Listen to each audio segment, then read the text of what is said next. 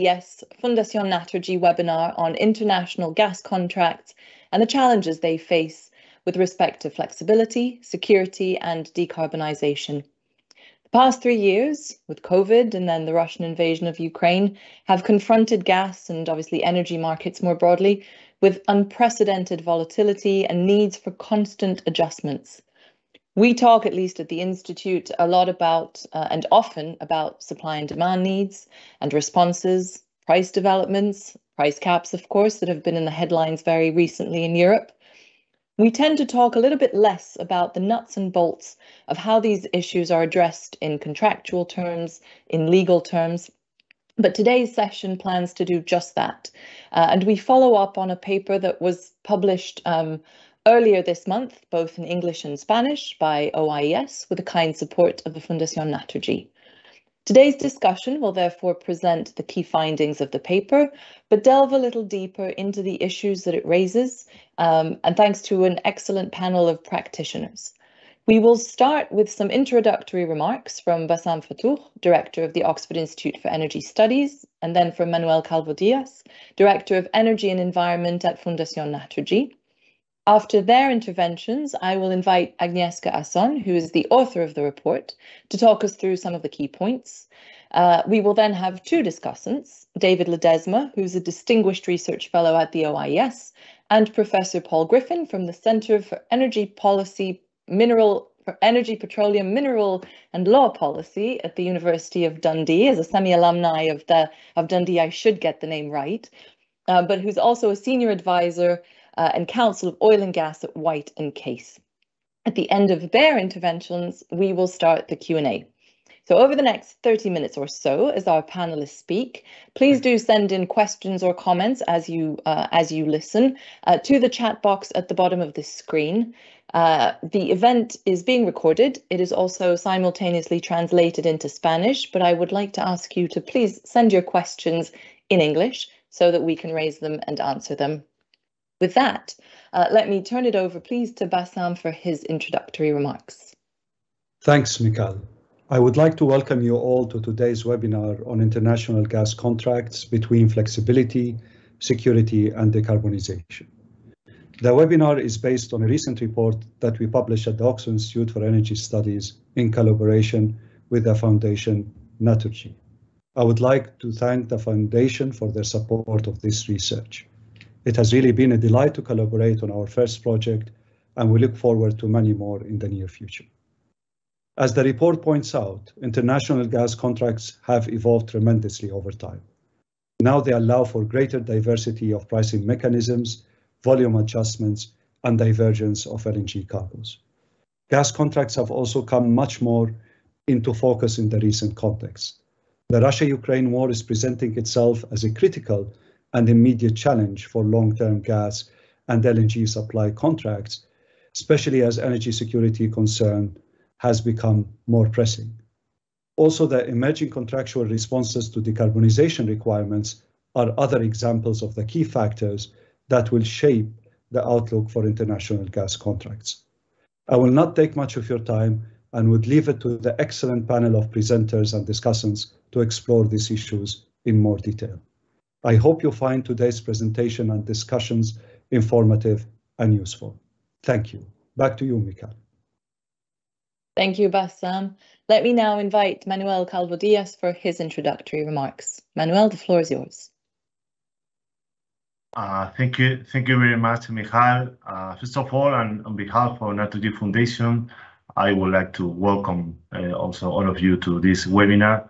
Uh, one of the main objectives of uh, Naturgy Foundation as part of the Naturgy Energy Group is to promote a serious and rigorous debate uh, based in, in expert knowledge uh, issues about energy, environment, and uh, sustainability.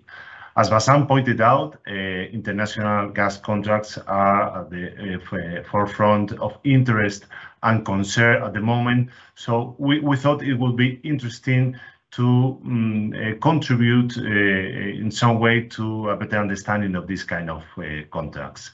That's why Naturgy Foundation decided to support uh, the Oxford Institute for Energy Studies uh, as a top-level institution in the sector uh, for the preparation of this study. Uh, and we also uh, hope that it will be the, the first one uh, in our future collaborations. the work is excellent as I'm sure it will be its presentation and the subsequent uh, debate, uh, taking into account the level of uh, our participants. I don't want to, to take more time for, for the debate. Thank you very much in behalf of Naturgy Foundation again, and uh, Michal, the, the first again. Thank you very much to all of you. Thank you, Manuel. Without further ado, let me now turn to Agnieszka Ason, uh, the author of this excellent report, who will talk us through the main points of the paper. To be fair, why should we even be paying attention to this issue of international gas contracts? Thank you very much, Michal. It's a pleasure to be here, and I very much look forward to the discussion. So let's start with a brief introduction to international gas contracts I hope you see my slides moving and they bring us back to the last century where the first international contracts for supply of gas through pipelines and in the form of LNG were signed. So those are the times in the 1970s where Soyuz Gas Export negotiated their first international sales, where the first flows of Algerian LNG and Alaskan LNG have been shipped across the globe. Now, at the time, the trade routes were modest and contracts were inflexible. They were negotiated on a case-specific basis and strictly confidential, and this is how they remain up until now. But many of them exceeded 20 years and they stipulated point-to-point -point delivery with little flexibility in terms of destination. And um, they were structured as 100% or nearly 100% take-or-pay arrangements. Now, at the time, long-term contracts were the only contracting segment for international LNG sales. In the meantime, the alternatives have emerged. And some 25 years ago, we saw a growing relevance of short-term and spot trading.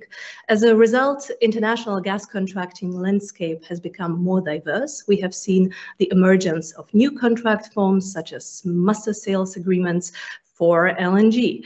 Uh, now, despite this growing diversity in terms of how um, projects um, are contracted, how the sales are executed, long-term contracts remain the key contractual mechanism for international gas and LNG sales.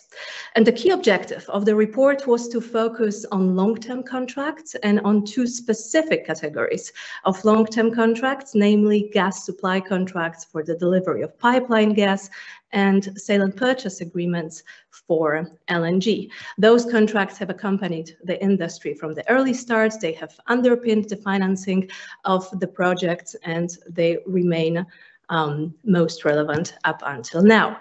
Now, the study looked into the fundamentals and the objective was to explain the key contract terms, forming various commercial choices of the parties, and uh, presenting their shared outlook for market uh, changes. Uh, the study guides through those arrangements uh, one by one, while looking into some differences between pipeline deliveries and um, shipments in the form of LNG. There are some references uh, to differences between European and Asian contracts as well.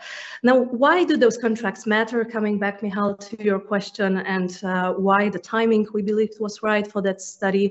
Uh, we have seen international gas contracts um, amidst severe market disruptions uh, that started first with the COVID pandemic and um, more recently, we see the effects, the pressures of the Russian invasion uh, on Ukraine. And this puts pressure on both existing contracts, and uh, we have seen uh, several um, actions taken by both buyers and sellers. For example, uh, in relation to ruble gas payment demands that are discussed in the paper, we have seen a surge in force majeure notices, um, price review requests, we have seen force majeure notices overlapping with uh, pending price reviews, so a complex landscape from a legal point of view, and we have seen an unprecedented surge in disputes under the existing contracts. Now, in parallel, there is a strong contracting uh, activity for uh, new uh, contracts. And um, the paper makes some brief comments on the priorities in contract negotiations. Um, it makes some comments on the um, tight timeframes within which those contracts are negotiated. And it also starts a discussion on the building blocks of those new contracts that are currently being uh, negotiated. In the final part, the paper briefly looks into the challenges of international gas contracts, and this is our objective for today, to bring the discussion further and to look at what lies ahead for those arrangements. Now, there are many challenges. It's a dynamic landscape. We have um, formulated three broadly formulate, so we have, we have formulated three uh, areas uh, that we will focus on today. And I will discuss them one by one in the next few minutes. So to start with flexibility.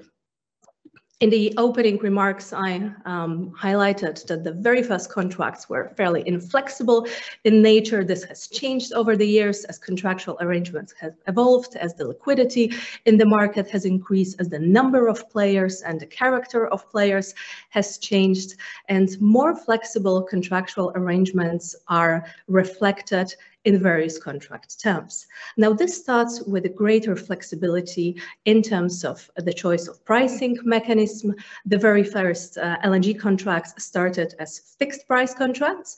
It's um, interesting to see the discussion on fixed pricing now playing out again in the context of hydrogen supply contracts. Um, so an interesting cross-commodity uh, reference. The dominant form of pricing uh, mechanism in international gas contracts has been oil indexation uh, over the years, and this has applied to both Europe and Asia. Um, the departure from oil indexation has occurred in Europe several years ago, the gradual departure, and now in the anticipation of structural changes in Asian markets, in the anticipation of progress of liberalization, we see a greater role of market-based pricing, hub pricing, spot pricing in contracts for delivery to Asia. Now, if one looks at uh, price flexibility, long-term price flexibility is assured through uh, price review clauses. Uh, most international gas contracts contain such clauses, but this has not been the case for some contracts in Asia, and um, there have been major difficulties in terms of reopening the contract price in Asian gas contracts, and in response to those difficulties, there have been changes, major changes to the way how price review clauses for contracts in delivery to Asia are structured. Um, there have been changes in terms of the triggers for a price review, introducing the notion of change of circumstances to those contracts, bringing more efficiency in terms of um, price review process and uh, offering more clarity in terms of price review methodology. Now, in terms of operational arrangements, those arrangements have come to the spotlight uh, during the pandemic. There have been um, delivery modification requests, cargo cancellations, and so on. We have seen volume rebalancing requests playing out at two extremes in the past few months, with the buyers seeking downward flexibility in response to the domestic uh, demand collapse and buyers requesting more flexibility, so the upward uh, way in response to the search for additional um, gas and LNG supplies as the demand has recovered and um, as those supplies are needed in response to the effects of the war in Ukraine. Now, the, the takeaway, the takeaway from that increased focus on flexibility arrangements is typically the review of those arrangements that the parties have earlier agreed on, and sometimes some improvement uh, to those um, to those arrangements. And generally speaking, both buyers and sellers on the basis of the prior experience will seek more legal protection in terms of volume and destination flexibility arrangements. Now, this brings us to the notion of contract adjustment, of clauses that allow for adjustments to contract terms going beyond the contract price. And those clauses, in contrast to price review clauses, have been typically missing from international gas contracts. Or if they were there, they were either unenforceable, inflexible, or of little assistance to the party who's in need of changes going beyond to contract price. So one of the major trends that we see in international uh, gas contracting now is the consideration of those clauses and a greater use of contract renegotiation clauses that allow for the recalibration of contract terms in response to change market circumstances. The key difficulty of negotiation of those clauses is typically to strike the right balance between contract flexibility and stability.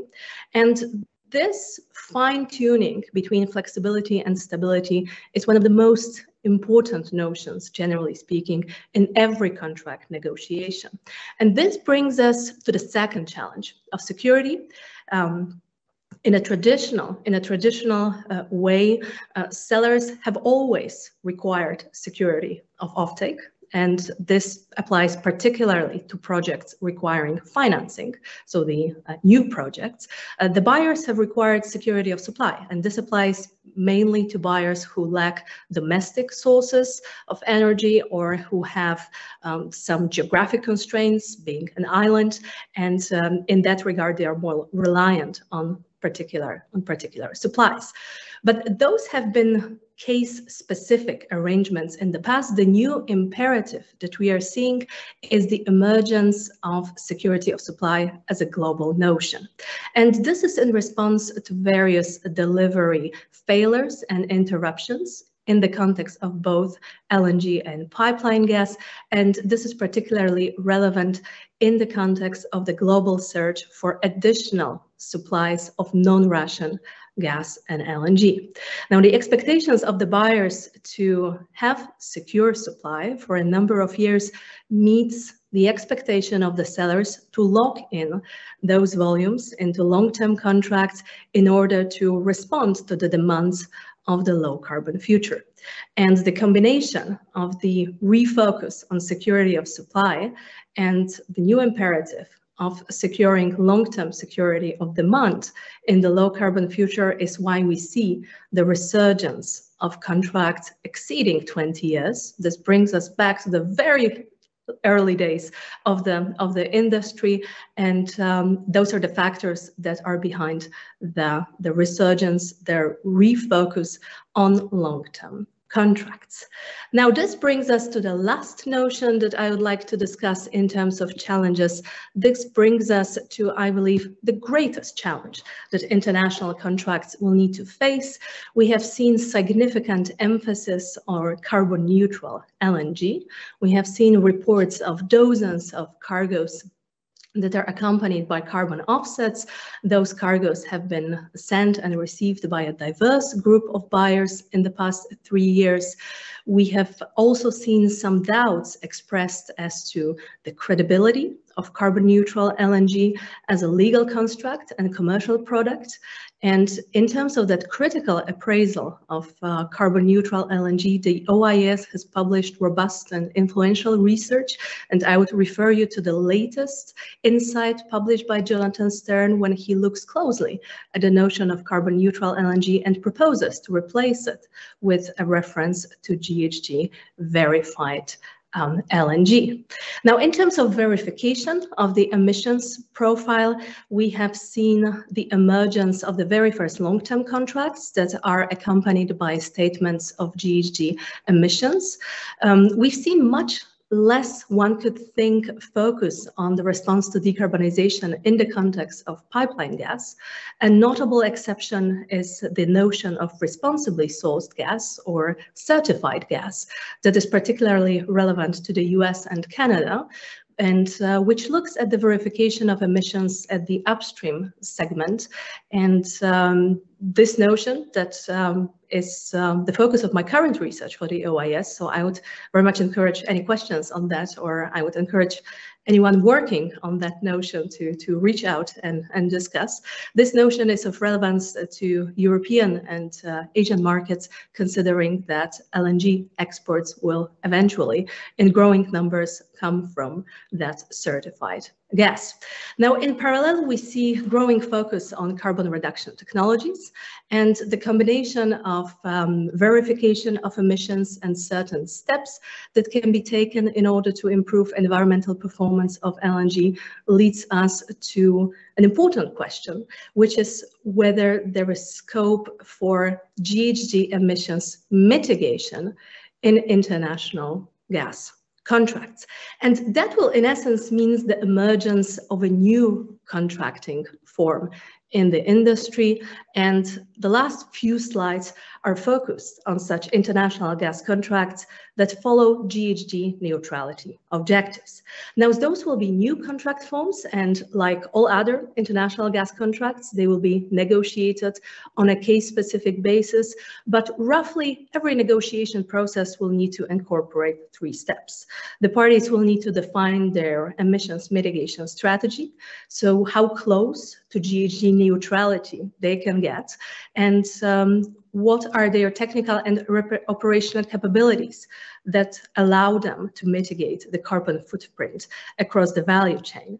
On the basis of that, the parties will be able to choose specific GHG emissions mitigation measures, let it be carbon offsets or direct emissions reduction, and allocate responsibility and risk along the value chain. Now, the choice of GHG emissions mitigation measures will ultimately hinge on the cost consequence, and the impact of the contract price is an important part of the negotiating exercise. That premium that is likely to be attached to emissions mitigation is sometimes referred to as the green premium, and the key question for the parties will be how to allocate that premium and uh, whether any metrics that relate to the emissions profile will be incorporated to the, to the price formula. Now, the final point, I see the slides moving now, the final point will be the new rights and obligations of the parties. And in the remaining three minutes of my presentations, I will look straight into them. So let's start with quantification of GHG emissions, so the prerequisite to any emission mitigation measures. In the absence of regulatory requirements, that methodology is subject to negotiation on a case-specific basis and reflected in certain contractual assurances that the parties can agree on, let it be representations or warranties. The parties are negotiating that on an individual basis, but uh, they can rely on the emergence of industry standards. Now, GHG emissions profile, as I note in the report, will form part of a gas and LNG quality uh, specification. And um, failure to deliver uh, cargoes that meet the required uh, GHG emissions profile will require a new framework in terms of liabilities, um, relevance in the context of force majeure. And um, one of the questions that the parties will need to answer will be, for example, whether a prolonged failure to deliver um, LNG or gas meeting the required GHG emissions profile can serve as a valid ground for contract termination. Now, it's unlikely to be a smooth exercise and generally to incorporate uh, the quantification of GHG emissions into the contract structure. Disputes should be expected and in the anticipation of disputes, parties will need to decide at the time of contract drafting on the dispute resolution framework. Will those be disputes resolved under the general arbitration clause or in a separate dispute resolution process? And the follow-up question will be the dispute resolution method for, for those disputes. So there is certainly scope for expert determination, like this is typically the case with other disputes of technical nature. And there is certainly scope for efficiency measures, such as time limits, so that those disputes are resolved quickly. Now, as soon as the emissions are quantified and the actual mitigation will come into play, parties will need to fit the direct emissions reductions through CCS or other technology and carbon offsets or a combination of both into the annual delivery program. Um, this will likely impact contract flexibility. There could be flexibility losses for the parties. For example, if a cargo comes with a specific plant which is equipped in carbon reduction technology. Now the task for the parties will be allocate the risk in uh, arrangements that incorporate carbon offsets. The uh, task will be to um, mitigate the exposure of external risks of carbon markets, to deal with a number of novel issues related to carbon credits, and generally speaking, to position GHG mitigation measures um, either in international gas contracts themselves or in neighboring ancillary contracts. The final group of new rights and obligations, very briefly, refers to compliance with regulatory measures. Decarbonization poses a regulatory risk in international gas contracts, and this applies to contracts regardless of any carbon neutral ambitions of the parties at the moment. Uh, what is likely, though, is that the new requirements may affect any GHG emissions related arrangements of the parties. Decarbonization requirements will be a relevant notion in price reviews. They will serve as a trigger for a price reviews or uh, for price reviews or a factor to be considered in a price review process. And um, this is a very good example where regulatory intervention could have a sweeping impact on contract terms and where the changes that the parties will need to execute will go well beyond the contract price. In order to mitigate the exposure to those changes, this is where robust contract adjustment mechanism, and Paul Griffin, who's with us here today, refers to them as carbon reopeners, this is where those carbon reopeners come into play and they can in essence serve as a hedge against the uncertainty of future decarbonization requirements. And the last slide concluding the discussion of decarbonization that I hope we will continue is to highlight that we have seen the emergence of new objectives of securing GHG emissions transparency and mitigation in international gas contracts. We have seen precedential contracts that prioritize um, emissions verification. The next step in the industry will be to incorporate actual GHG emissions mitigation measures. Now, that's a big task to achieve. And in the short term, the focus of market participants will likely be on securing um, future supply. But in the long run, the approach to GHG emissions will be crucial. They will serve as a differentiator across gas contracts, and it will influence those contracts starting with the pre-contractual negotiation stage throughout the life of the contract. And on that note, we'll conclude and look forward to the discussion. Thank you. Thank you very much, Agnieszka. Lots of issues to follow up on there. Uh, we will come back to these questions both about flexibility and security as they are arising in the near term, but also to this issue of decarbonisation that you've just talked about, which really looms large over the industry. Before we do that, I would like to invite David Ledesma to share his observations and perhaps to give some of the thoughts based on his experience negotiating uh, some of these contracts, how they impact on and are impacted by the gas business. David, over to you. Mikhail, thank you very much indeed. And also thank you very much to the Fundación Naturgy for inviting me to speak today. Now, in an OIES paper that I authored back in March 2019, New Players, New Models, I set out how the evolving LNG business is really continually changing from kind of its original security supply based established model that was based on fixed links between LNG suppliers and how that is moving towards a more adaptive LNG chain where you know, different linkages can really operate more independently of each other. Now, we are what I call an, a grey fuzzy area of transition as we move from this structured LNG contract to a kind of blend of contracts uh, with different terms and lengths because we're moving into uh, kind of the merchant market and that blend uh, of contracts is with us today, a blend of short-term, medium and long contracts. Now, COVID and the Russian invasion of Ukraine has also driven change in the market with really increased focus, as Agnieszka has said, on security supply globally. And this is also impacting on contracts and slowed down the speed of the move towards the merchant market. So with this in, in kind of background environment in mind, I'd like to really address three contractual issues facing the market today from a, a commercial perspective. First of all, liquefaction plants, I think it's fair to say, are operating at maximum today as they seek to supply as much LNG into the market as possible to meet the rising demand and also secure sales in the high priced arena that we find ourselves. Now, this together with natural disasters such as flooding and reduced feed gas supply due to aging facilities has led to LNG cargoes not being supplied and some suppliers declaring force majeure.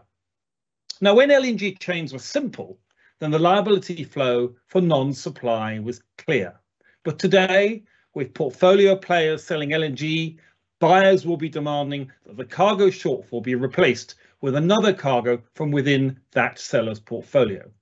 Now, we must not also we must also remember that volatile and high prices means that the cost of replacing cargo is in huge, absolutely huge. Now, 100 million dollars today or higher in cargo value is far more costly than the 30 million dollars a cargo in quarter two 2021 or indeed the 10 million dollars a cargo in summer 2020 now this along with how underlying contracts are operated potentially leads to disputes and contractual uncertainty and with hedging being normal today and liability limits in some contracts being common non-supply of cargoes can also lead to very large trading losses with some parties potentially seeking to make higher margins by diverting a cargoes away from contracted parties.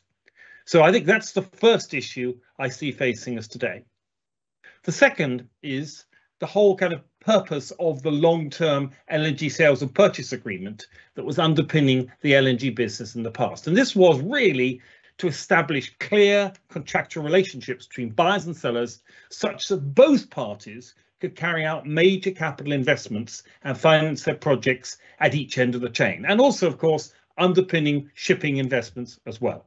Now, therefore, long-term contracts are supporting third-party finance, and also they are giving security supply to buyers and sellers and offtake to the sellers. Now, disaggregation of the chain and buyers seeking flexibility in their contracts, which they have to do because of the uncertainties in their own market structures, changes with liberalisation and deregulations, and also, as Agnieszka has pointed out, the move of buyer countries to decarbonise. Now, this has led to buyers having to seek flexibility, lower firm volumes in LNG contracts, and more short-term spot, short-term or spot volumes.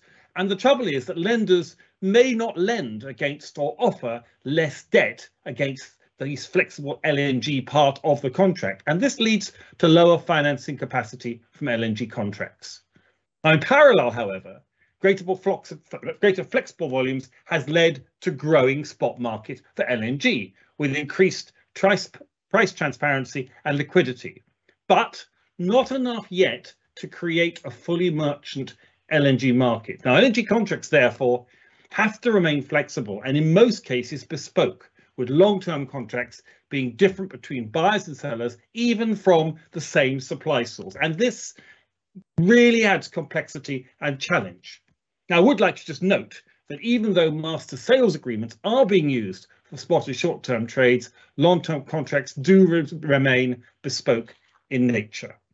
Now, the third key issue I'd like to raise is volatile prices and contracts. And these are really triggering uh, or trigger review points uh, in contracts. And this has led to a plethora of price reviews in the LNG business today.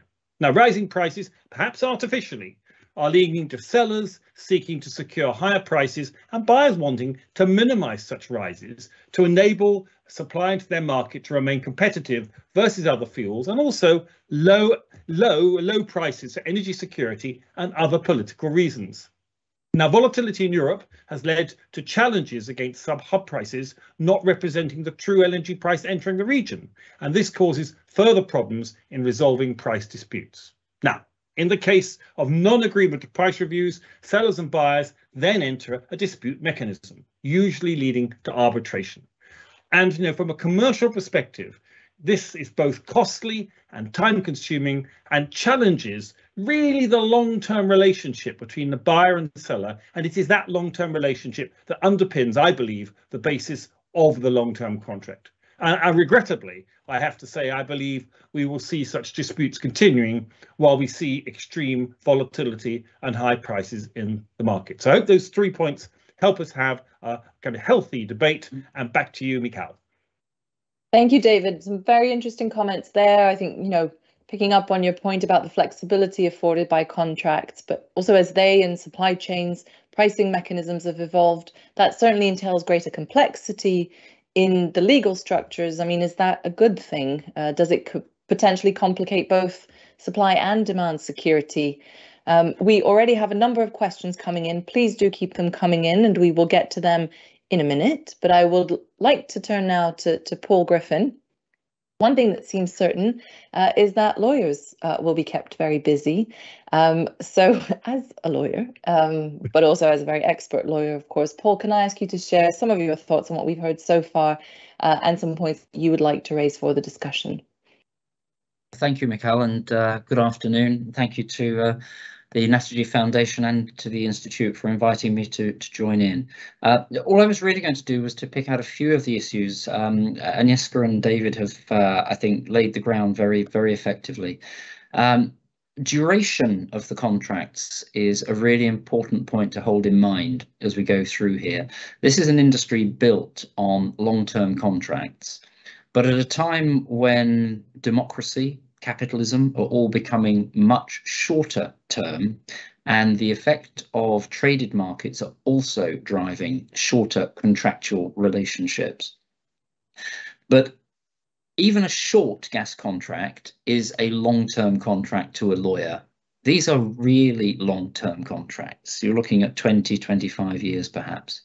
And over time, the contract becomes inconsistent with the regulations and with the markets.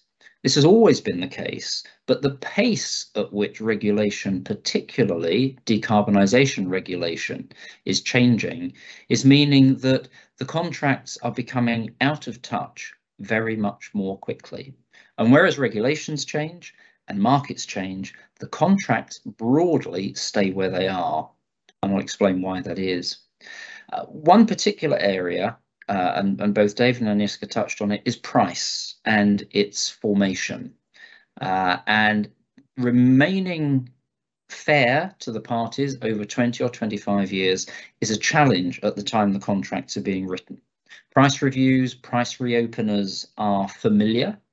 I wouldn't say they always work well, but they're familiar and there's a technology to them. And increasingly, parties are becoming concerned not only at how to track the price changes, but also how to adapt to the methane risk, carbon reopeners. Uh, at least the traditional price reviews, you were you, you had the same commodity. It was methane to a specification. Now the commodities are changing. Clearly, it's an element of sophistry because how green is your LNG depends on things aside from the methane itself.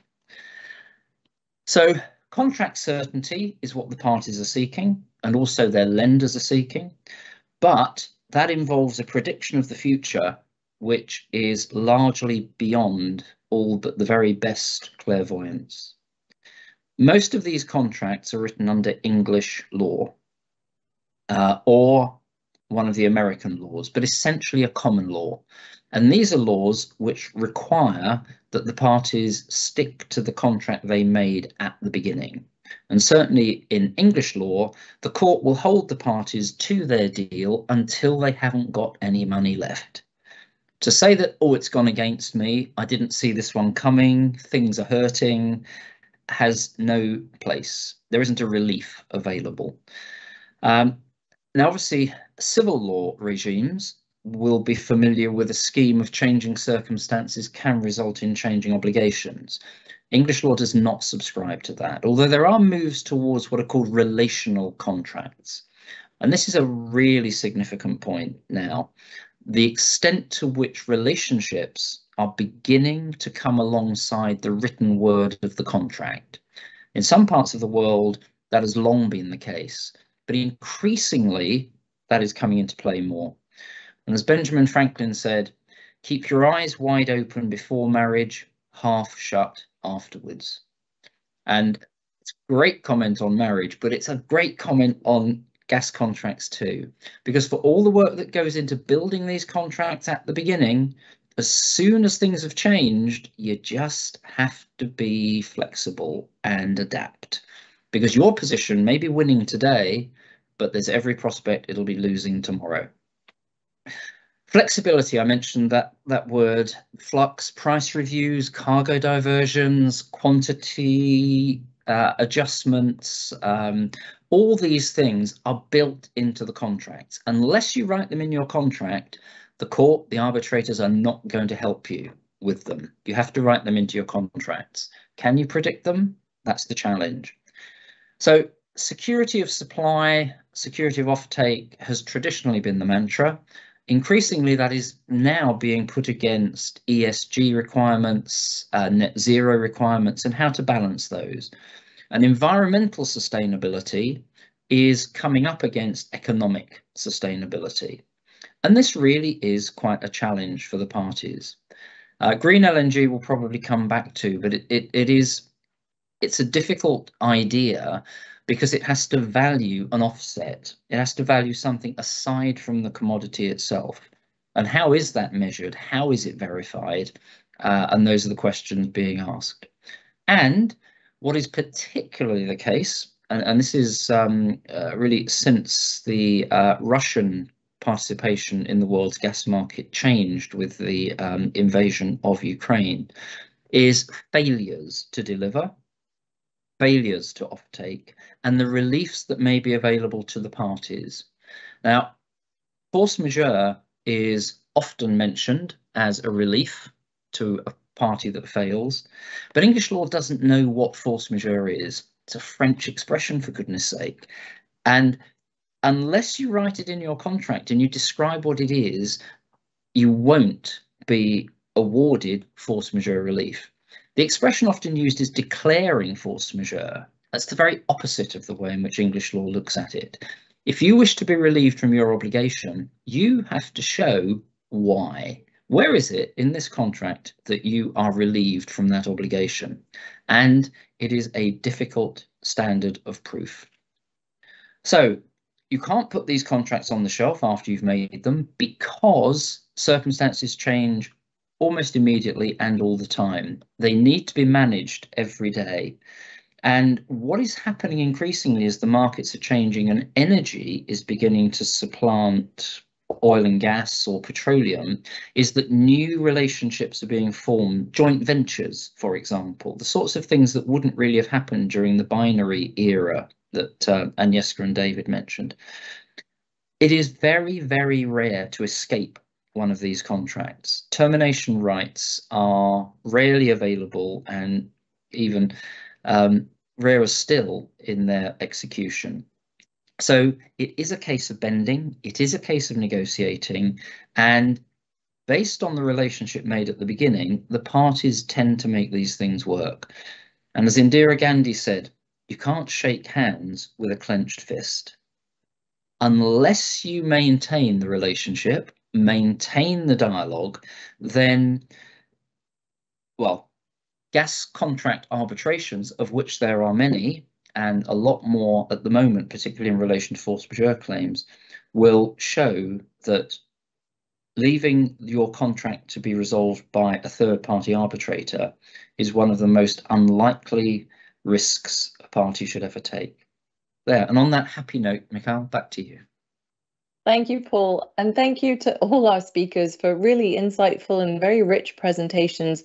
There's a lot to unpack there in the Q&A. If you haven't done so already, please do send in your questions through the chat box. It is at the bottom of the screens. If you are viewing the panel only, you might be in full screen, so you will need to downsize the box and ask your questions. But let me start with a few that have come in and a few that sort of came to mind as, as you were speaking. I'd like to start with Agnieszka. Um, you know, we talk about, and you talked about the evolution of contracts, sort of the start is point to point, and and then with sellers needing to underpin their financing, buyers needing to know that they have supplies. And then, of course, market liberalization and changes to market structures have, have sort of come in. So to what extent or how would you say briefly, of course, that they have shaped or changed the contracts? And equally, sort of how have these trends been reflected in the contractual terms? This goes a little bit to what Paul was saying about the long-term contracts needing to adapt to some of the kind of short-term changes that have become quicker.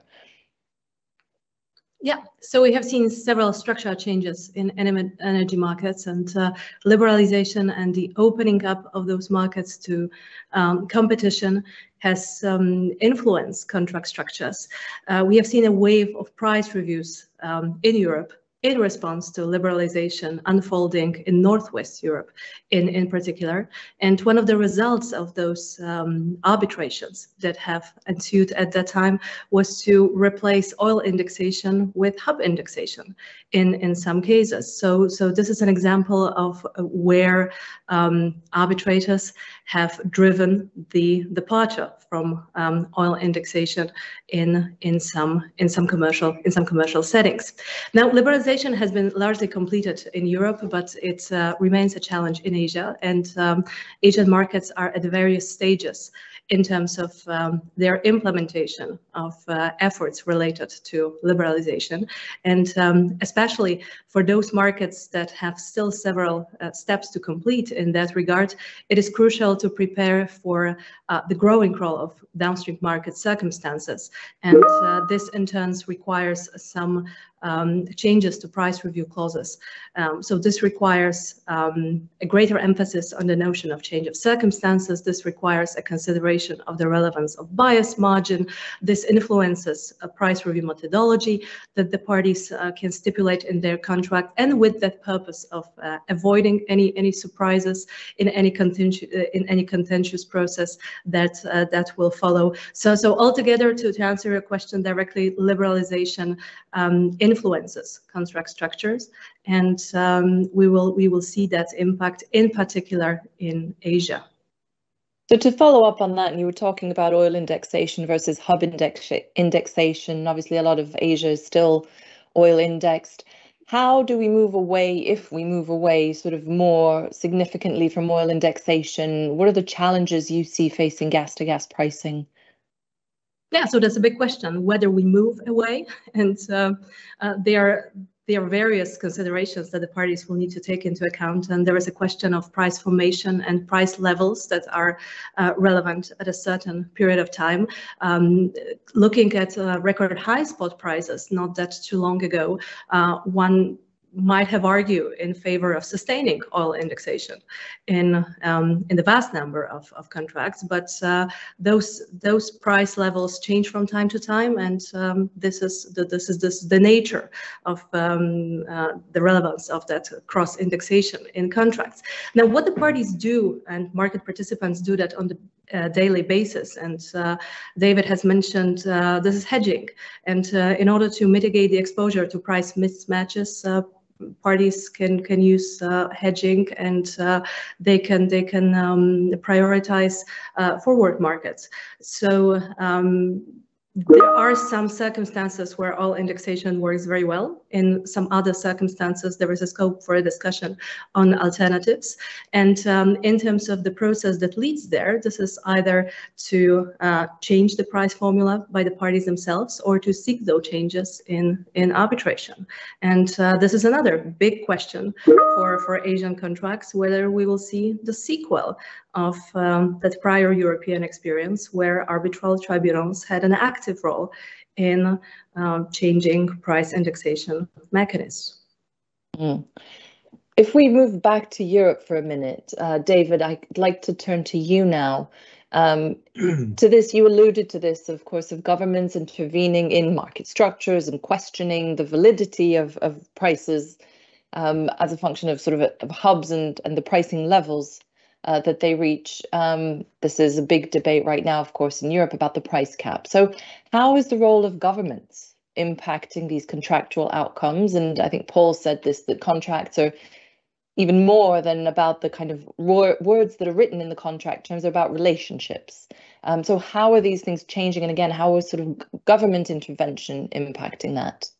Well, I, I, I think in, in, summary, it adds uncertainty. Uh, it adds uncertainty because let, us be clear. You know, my view is that the role of the government is to set the framework, to set the regulatory framework, and it is the role of the companies to negotiate uh, commercial arrangements.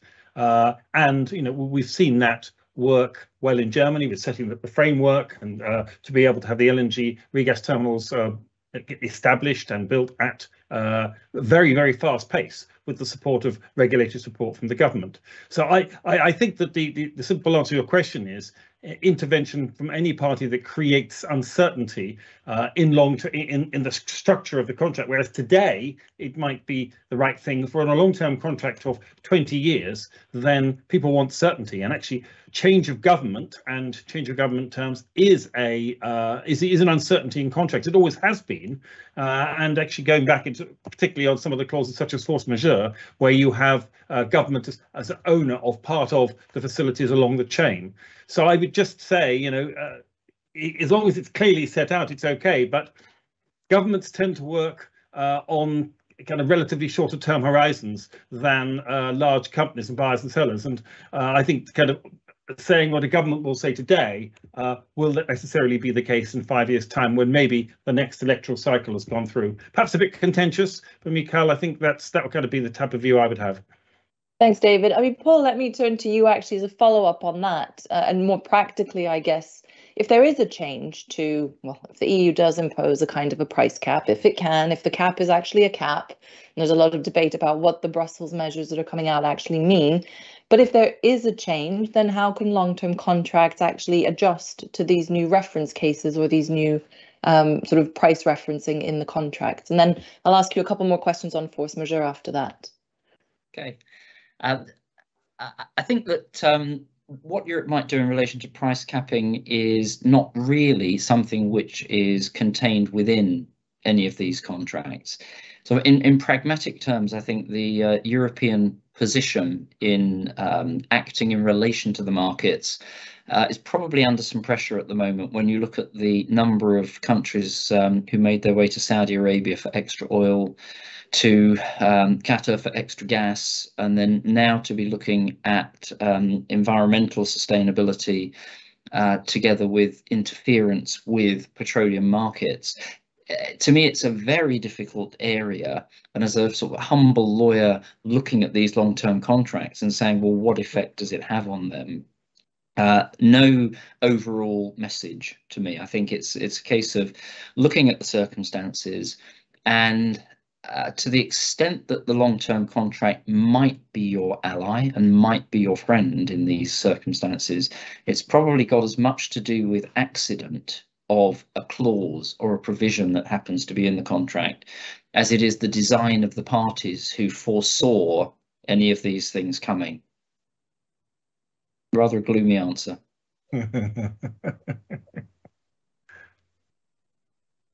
Mikhail, I think you've got your muted. I am, thank you. Had to happen once in this webinar.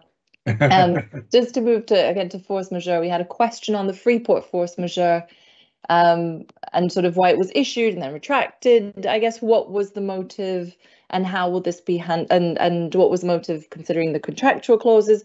And again, on the topic of force majeure, before we move on, because we're running almost close to the end of the hour. I'll move to decarbonisation after that. But the second question on force majeure was we had COVID related force majeure declaration for buyers. And again, how can they be handled in future contracts? Okay.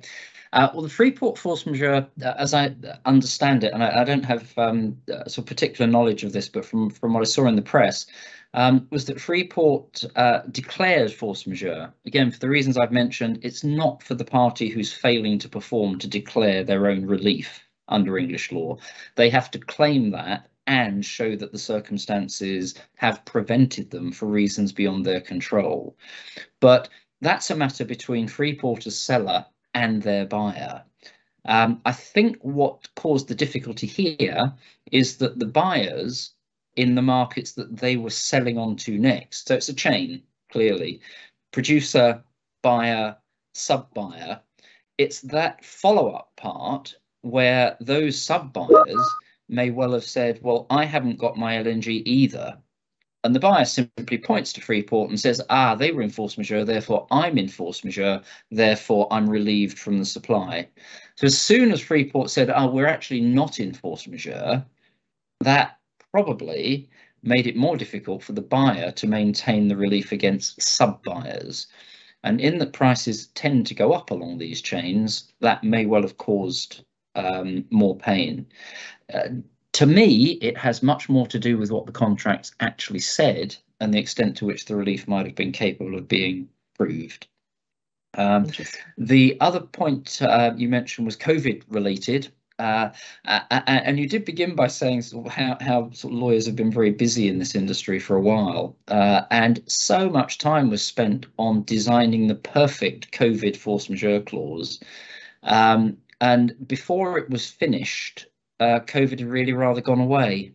Um, so uh, I think that uh, whereas a lot of people put a lot of time into how to guarantee that if COVID happened again or a pandemic happened again, it would be a cause for relief.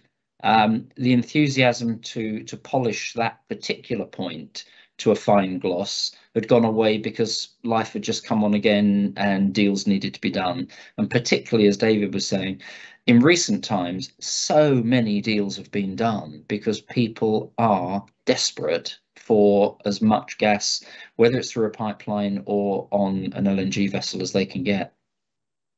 Interesting. And I think for a lot of these questions, the price review clauses, the COVID clauses, there's this question of whether these are blip, well, not blips, but clauses that can be perfected and added into a contract and whether they represent a fundamental shift in contractual terms and in the industry. We would have, we could have discussed this for hours, but I want to come to what I think is undoubtedly, and you all talked about this, is a step change and a transformational change in in the industry and therefore in contracts, and that's decarbonisation. And Agnieszka, I'd like to ask you in literally two minutes that we have left there was a question that came in about the contracts. Have there been any contracts signed so far uh, that have recognised a clear method for measuring for measuring greenhouse gas emissions uh, in in the supply in an LNG supply contract?